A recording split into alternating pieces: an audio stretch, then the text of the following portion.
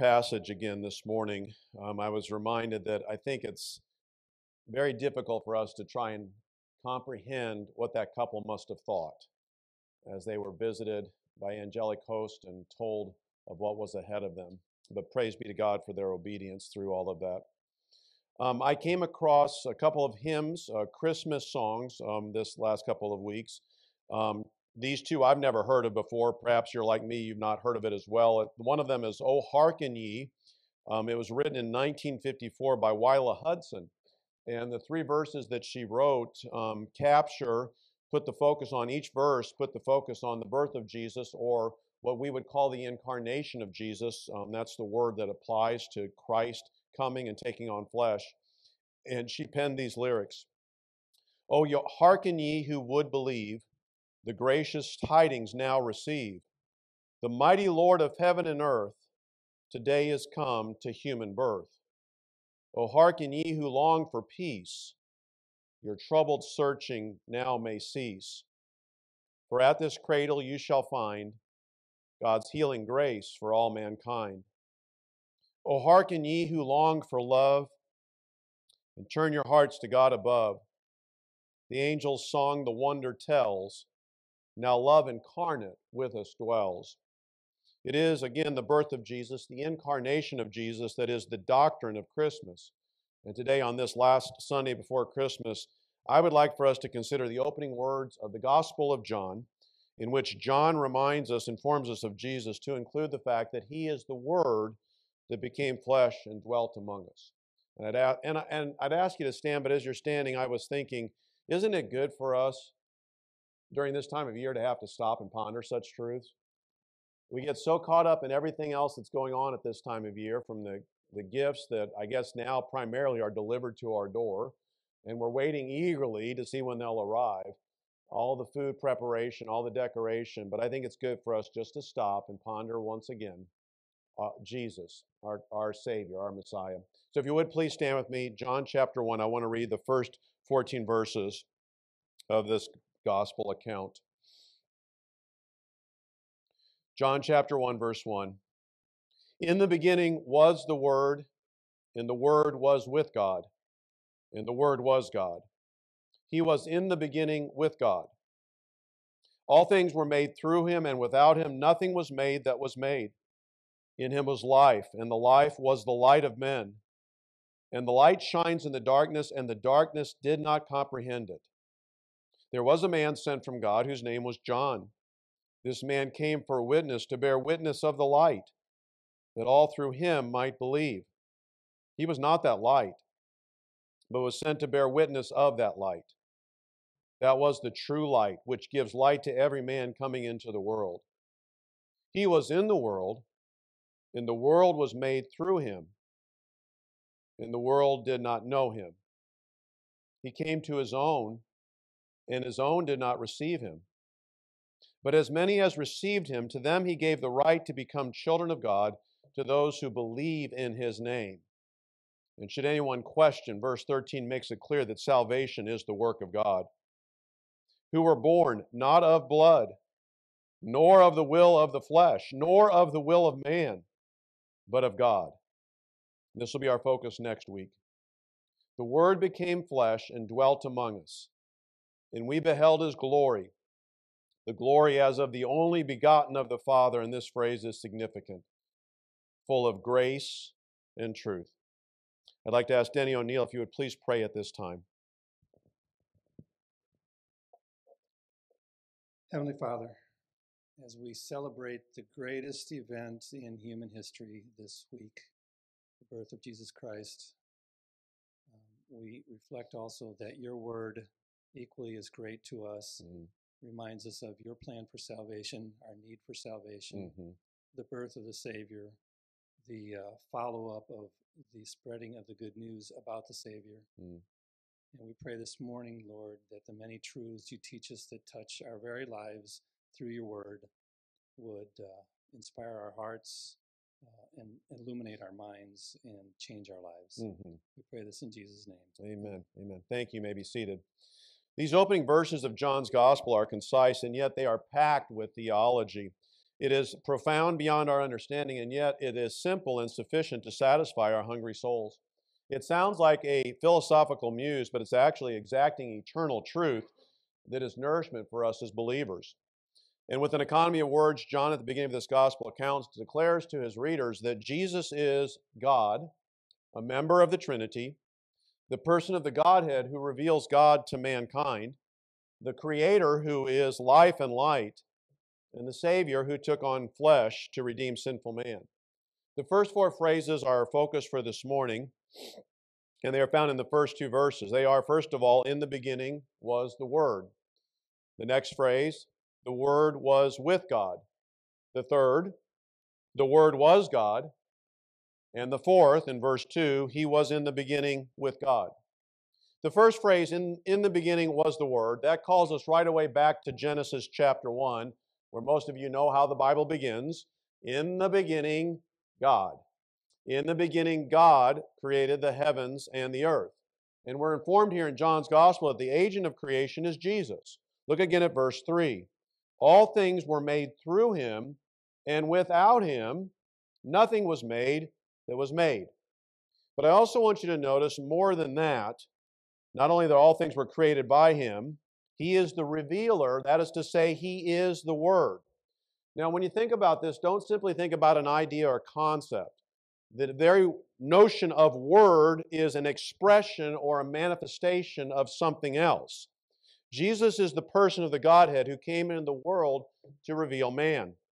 Now, we can affirm, we know this from Scripture, that everybody knows that there is a God. This is a result of general revelation. You probably know passages like Psalm, the heavens declare the glory of God.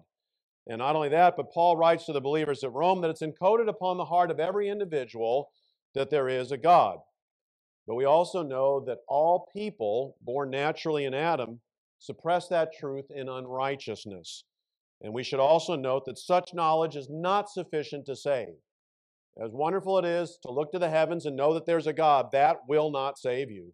It is only sufficient and efficient in condemnation.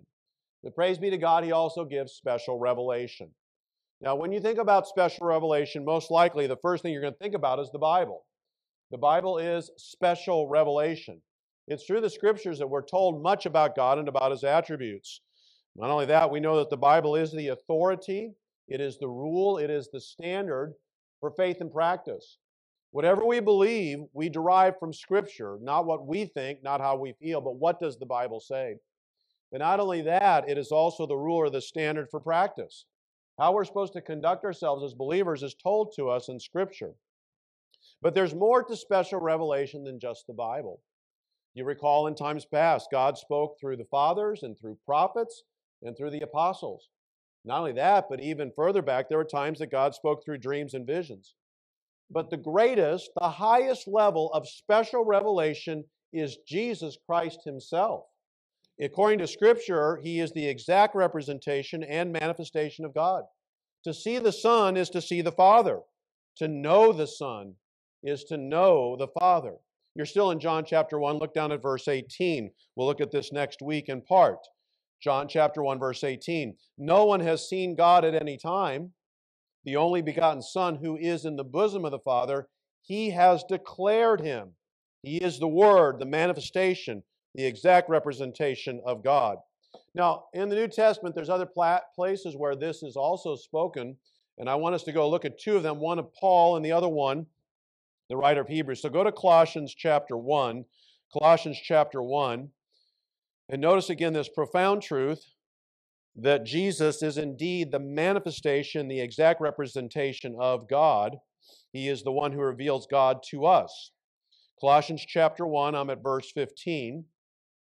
Here we read that Paul wrote, He is the image of the invisible God, the firstborn over all creation.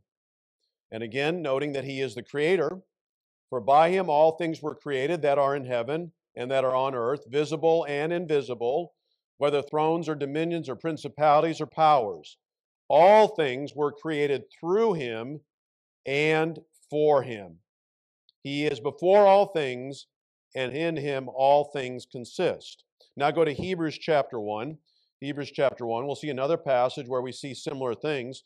And don't be confused here. as the writer speaks, he'll actually define for us what's happening here in this passage. So, Hebrews chapter 1, I'm at verse 1. Hebrews 1, verse 1. God, who at various times and in various ways spoke in time past to the fathers by the prophets, has in these last days spoken to us by his Son, whom he has appointed heir of all things, through whom also he made the worlds, who being the brightness of his glory and the express image of his person, and upholding all things by the word of his power, when he had purged, when he himself purged our sins, sat down at the right hand of the majesty on high. And having become so much better than the angels, he has by inheritance obtained a more excellent name than they. So, what do we see in these passages and in John chapter 1? Jesus is God, and he is the revealer of God. The second phrase teaches us this that the Word was with God. It informs us that Jesus is a member of the Trinity. Now, the word Trinity nowhere appears in Scripture, but we see it in several passages. But I would say this whenever we speak about the Trinity, we have to be very careful. Most heresies are a result of either erroneous statements made about the Trinity or about Jesus Christ himself. But I would tell you this you can confidently say three things, and these are worth noting. If you don't know these, you ought to write them down and memorize these three thoughts about the Trinity. Number one, there is one God. Number two, God exists eternally as three persons. And number three, each person is fully God. So to summarize again, and these are important to know, there is one God, three persons, and each person is fully God. Now, throughout the Old Testament, we see many examples or many passages of Scripture that declare to us that God is one, but I want you to see God's own testimony of Himself. So for this, go to Isaiah 45. Isaiah 45. You open your Bibles, about midway, you'll find the book of Psalms, and you make your way towards Isaiah. Psalms, Proverbs, Ecclesiastes, and then, as my grandson says, some of Solomon, not Song of Solomon, but some of him and keep working your way. You'll come to Isaiah. If you make it to Jeremiah, you've gone too far in Lamentations. Go back to Isaiah 45. Isaiah 45, and I'm down at verse 5. This is the testimony of God Himself. And here He says, Isaiah 45, verse 5 I am the Lord, and there is no other. There is no God besides me. I will gird you, though you have not known me that they may know from the rising of the sun to its setting, there is none besides me. I am the Lord, and there is no other. Can I get an amen on that? By the way, this section of Isaiah it repeats that idea many times. It'd be worthy of your consideration, maybe even later today. So there is but one God, but he exists as three persons. And there's again several passages that would inform us of this. One of them that I like is Ephesians chapter 1, which declares to us all the work of the Godhead in saving. But I think the most concise one, the simplest one, is actually found in Matthew 28. So go to Matthew 28. I remember hearing this as a young man and I, I marveled at it. It didn't really make sense until I began to understand. And as weird as that sounds, maybe I shouldn't say understand or just to affirm the truth of the Trinity. I don't think we can ever make sense of it. But this particular verse here does it in really a wonderful fashion, teaches us there is one God who exists eternally as three persons. This is Matthew 28, the last three verses of Matthew's gospel. Verse 18 And Jesus came and spoke to them, saying, All authority has been given to me in heaven and on earth. Go therefore and make disciples of all the nations.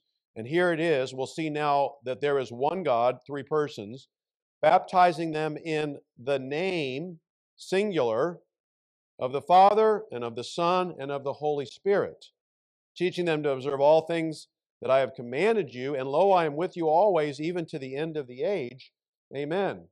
So, one God, there is one name, but three persons Father, Son, and Spirit.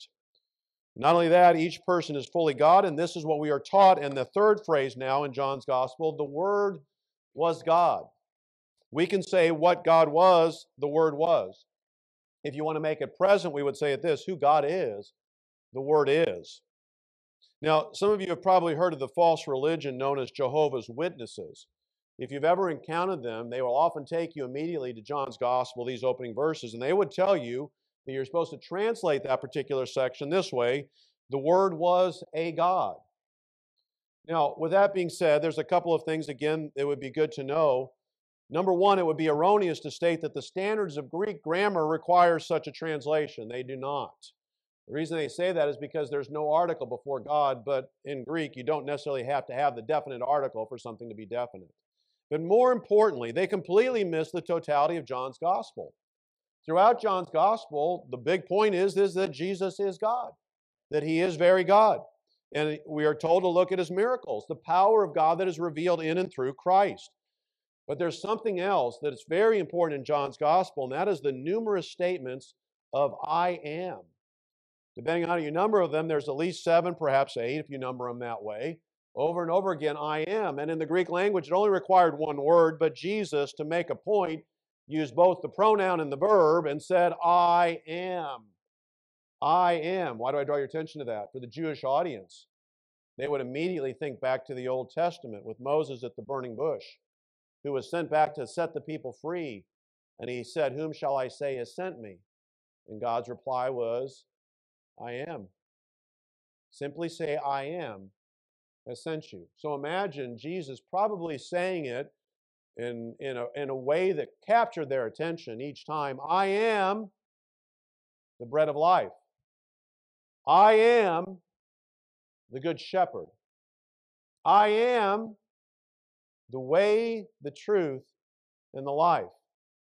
There is no question they understood what he was saying. As a matter of fact, on many occasions, they took up stones to kill him. And some people would say, no, Jesus never claimed to be God. Oh, yes, he did. And I'd like for you to see at least one passage in John, John chapter 10, where it's crystal clear because even the Jews who were going to kill him state as much that that's what Jesus, in fact, did here. John chapter 10, we're down at verse 25 of John chapter 10. Jesus answered them, I told you, and you do not believe. The works I do in my Father's name, they bear witness of me. But you do not believe, and here's the reason they didn't believe because you are not of my sheep, as I said to you. My sheep hear my voice, and I know them, and they follow me. I give them eternal life, and they shall never perish, neither shall anyone snatch them out of my hand. There's eternal security. If you're looking for it in Scripture, circle that verse. My Father who has given them to me is greater than all, and no one is able to snatch them out of my Father's hand. Now, hear this phrase I and my Father are one. This reminds us again of the Trinity and the unity within the Trinity. The response of the Jews is found next. Then the Jews took up stones again to stone him. Not the first time, but again. Jesus answered them Many good works I have shown you from my Father. For which of those works do you stone me? In other words, are you upset with me because I'm performing miracles like I healed someone on the Sabbath? Is that the reason you're upset? They make it crystal clear oh, no, it's something even much more important. The Jews answered him, saying, For a good work we do not stone you, but for blasphemy and because you, being a man, make yourself God. Clearly, they understood what Jesus was saying. Make no mistake about it. And they wanted to kill him. This is a really interesting time of year. What is the common greeting nowadays when you go out in public? Or what is it that you hear? Yeah, that's pretty much, isn't it? We've been reduced down to that. Happy holidays. And if you say to someone, Merry Christmas, what are the looks that you get? Could you imagine if you were to go a little bit deeper, though, and say to them, isn't this a great celebration of the birth of Jesus, our Savior? Could you imagine what would happen? what? right there on the spot. We understand that this is the truth. And this is why we celebrate the birth of our Savior, the incarnation of Jesus, God Himself. And we also know that the final verification of this truth is that He rose from the dead because He is the way, the truth, and the life. Now, the final phrase is significant as well. It's found in verse 2. He was in the beginning with God. This is more than a summary statement. This particular statement makes it clear that the Word is more than a force a long time ago in a galaxy far, far away. Up until this point, Jesus had been referred to as the Word, so you might think he's just a concept, he's a force. This verse says, no, he is a person, a distinct person of the Godhead. And again, this is a mystery that's beyond our finite minds. We can't fully comprehend it. But indeed, one God, three persons, and each person fully God. And the member of the Godhead, whom we know as Jesus, the Son of God, is our Savior. He was and is life, and He is the true light which has come into the world. If you don't mind, I want to read again this middle section of John chapter 1, beginning in verse 4, and be informed once again to be refreshed of who He is. John chapter 1, verse 4 In Him was life, and the life was the light of men. And the light shines in the darkness, and the darkness did not comprehend it. There was a man sent from God whose name was John. This man came for a witness to bear witness of the light, that all through him might believe. He was not that light, but was sent to bear witness of that light. That was the true light, which gives light to every man coming into the world. And he was in the world, and the world was made through him. In the world, all people did not know him. He came to his own, that's the Jews, and his own did not receive him.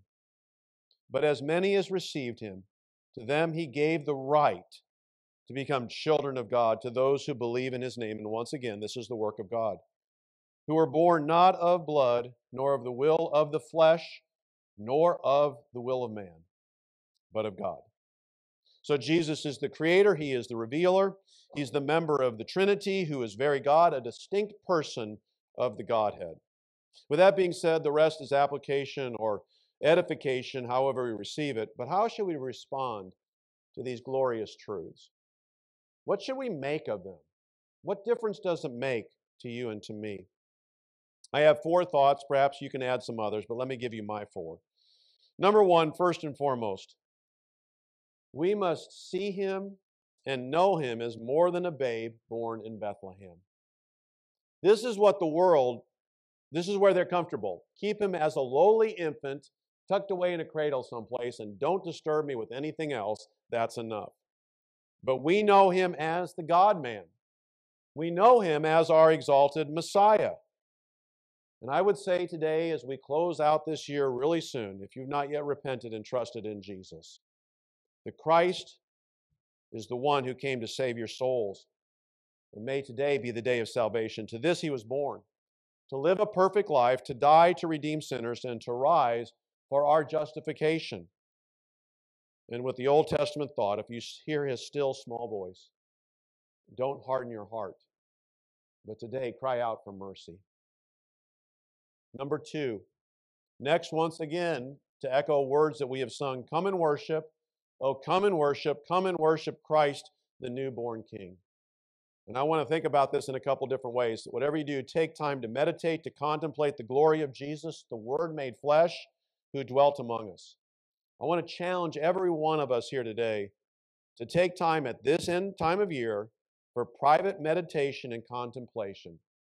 Don't let this season pass by being busy, but perhaps take a drive and listen to Scripture or, or find a lonely park and review memorized verses, or maybe take a long walk and sing hymns of praise. A friend of mine uh, told me that this time of year, he would typically go on Christmas morning out to the shrine out on, on 15. He said there was nobody out there. He would go out there before his family woke up and he'd spend time with God. And I would encourage you to think about doing something similar. Get alone with God, be still, and know that He is God, and be refreshed in private worship this year.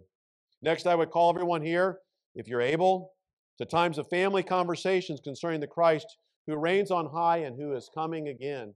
At Thanksgiving time, we're pretty good about giving thanks.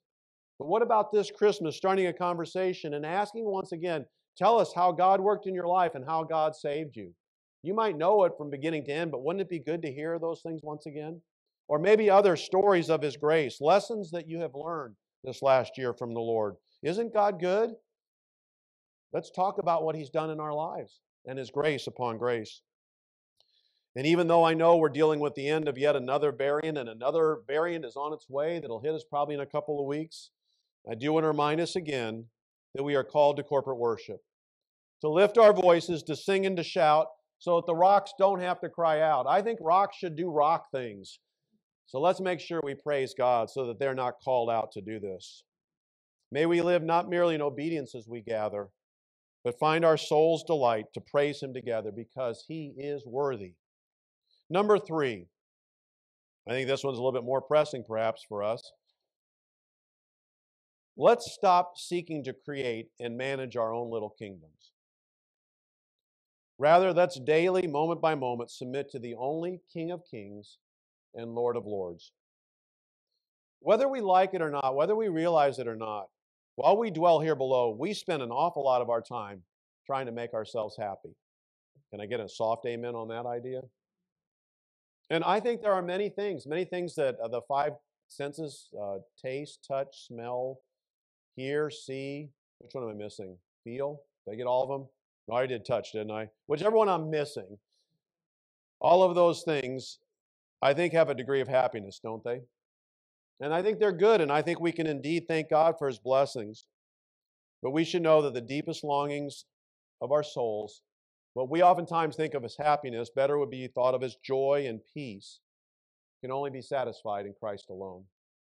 Um, thank you for the many of you who uh, were mindful of me this particular last week. This is um, one of those uh, weeks that are really interesting because I turned one of those nines. My birthday ends in a nine this year. So that means I'm going to close out a decade and begin another. I know most of you are thinking you're probably 29. I'm not. I'm a little older than that. Yeah, I wish. Thank you. God bless you for that. uh, uh, actually, um, you already know the math. Uh, I, I, got old in my 50s. Uh, it was 55 when I got old. I still remember the day outside working outside, and suddenly I felt like I was going to pass out. That was it. It's all been downhill since then.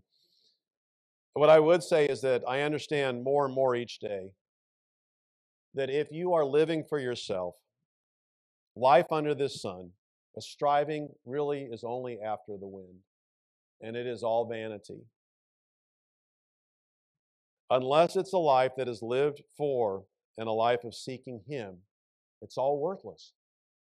That's the only life that really has any meaning. And some of you are shaking your heads, I think, or nodding your heads in agreement. Those of you are not yet, that means you're young and you don't know that yet, but give yourself a couple years and you'll figure it out. There is so much that we pursue that's just not worth it. And if I could say at this time of year, stop, each one of us, from our daily striving to create and maintain our own little puny kingdom of comfort. And as the Bible says, seek first the kingdom of God and his righteousness. And then you'll find everything else has its proper place and even offers a degree of happiness. The last one I think is kind of interesting, might seem odd, but I call every one of us here today be shepherds. And you say, I don't want to own any stinking sheep. I don't even know Shaun the sheep. So why would I want to be a shepherd?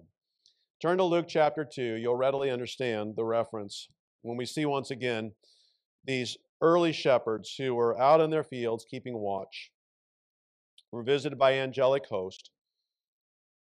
And you'll see what these shepherds did, and this is why I would call us to be like them. Luke chapter 2, verse, well, let's go to verse 13. And suddenly there was with the angel a multitude of heavenly hosts praising God, saying, Glory to God in the highest, and on earth peace, goodwill toward men. So it was, when the angels had gone away from them into heaven, that the shepherds said to one another, Let us now go to Bethlehem and see this thing that has come to pass, which the Lord has made known to us. And they came with haste and found Mary and Joseph and the babe lying in a manger. Now, when they had seen him, and here's the call. They made widely known the saying which was told to them concerning this child. Wherever they went, they're telling everybody, here's what we heard, this is what we saw. And all those who heard it marveled at those things which they were told by the shepherds. So uh, I think our closing song today, I would say, go tell it on the mountains that Jesus Christ is born. Go tell it to the nations that Jesus Christ has died to save sinners. Go tell your family, your friends, and your neighbors that Jesus rose from the dead in order to save us from our sins. Go tell everyone that you know that they must repent of sin and trust in Christ alone. Came across another really, really old hymn. It was written in the fourth century by Aurelius Clemens Prudentius. Um, I'm not going to read it in Latin. That's kind of interesting. I'll do the English translation. Uh, The title of it is Of the Father's Love Begotten. Of the Father's love begotten, ere the worlds began to be. He is Alpha and Omega, He the source and ending He of the things that are, that have been, and that future years shall see, evermore and evermore. Oh, that birth forever blessed when the Virgin full of grace, by the Holy Ghost conceiving, bore the Savior for our race. The babe, the world's Redeemer, first revealed his sacred face, evermore and evermore. This is he whom seers and sages sang of old with one accord, whom the voices of the prophets promised in their faithful word. Now he shines, the long expected. Let creation praise the Lord evermore and evermore. Let the heights of heaven adore him. Angel host his praises sing. Powers, dominions bow before him and extol our God and King. Let no tongue on earth be silent. Every voice in concert ring, evermore and evermore. Christ to thee, with God the Father and Holy Ghost to thee. Hymn and chant and high thanksgiving and unending praises be. Honor, glory, and dominion and eternal victory, evermore and evermore. But better still, in the beginning was the Word, and the Word was with God, and the Word was God.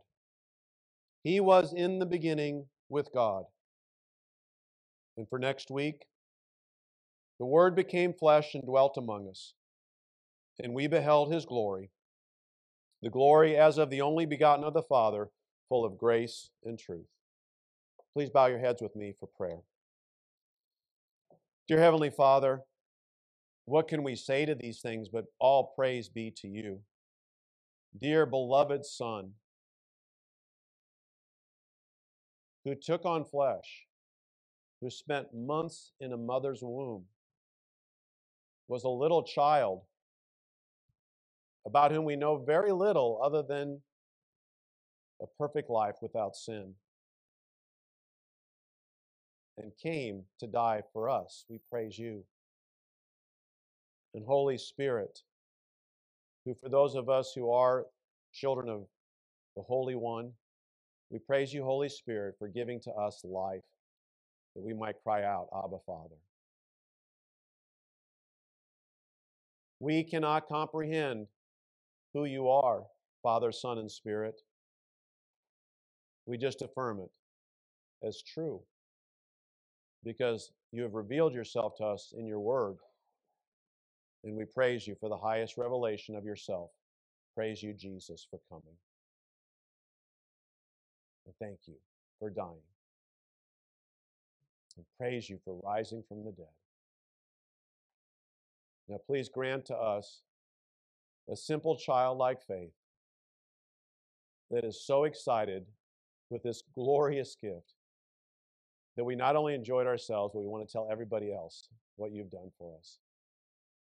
Praise you and bless you in Jesus' name. Amen.